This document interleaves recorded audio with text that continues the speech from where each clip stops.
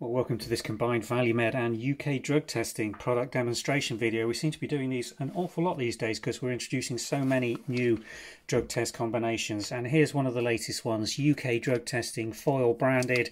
This is the seven panel. We've called it the Gen Z workplace. And let's run through why we've come up with that name. Beautiful reverse instructions on the foil, giving you uh, simple to follow instructions how to run this test.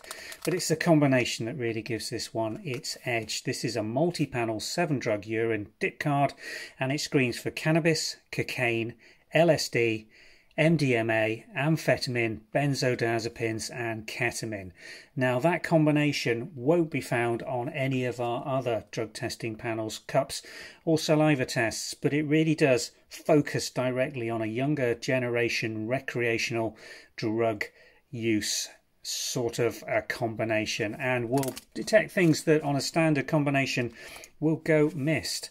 So inside that what you have is one of these, a UK drug testing branded seven panel card with its cover. If I just remove that, you'll see the prongs coming out of the base. Coding for each of the drug groups that you're screening for is uh, nicely color coded along the middle section here. And the C and T indicate where your control lines and test lines will form. So to run one of these tests, simplicity itself, collect a fresh urine sample. I've just got a synthesized sample to demonstrate this test for you. And you just dip it into the sample just to below those uh, wavy lines can go onto the wavy lines if you've got more sample uh, in your container than I have here but do not let the uh, the urine sample touch the bottom of the panel as it uh, clearly reads across there. Dips in the sample for between 5 and 15 seconds and you will see on this panel you can see that lateral flow membrane the pink dye starting to run up here you can leave it in the sample until the test is complete, but usually what would occur is you'd remove it from the sample and lay it on a flat, non-absorbent surface. What most people tend to use is the reverse of the open foil. So that goes down there. And the read time for this test, as per the manufacturer's instructions, is between 5 and 8 minutes. So what I'm going to do now is pause this video and show you the results as shown at uh, the 5 minute time band. Well, here we are at the five minute read time and you can see we've got some really nice clear control lines all along the top bars indicating that every single seven column has run correctly. And then we're looking for the presence or absence of the T line, the test line, and we've got nice, clearly demarcated T-lines on all of these membranes indicating absolute negative results.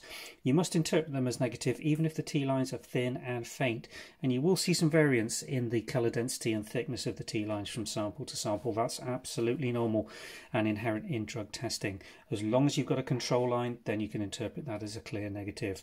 If no control line is showing the test is invalid and needs repeating, if at 5 to 8 minutes and you must give it the full 8 development time you have got no T-line but a strong control line, then that indicates a positive result for that specific drug group, and that should be confirmed using an accredited laboratory model.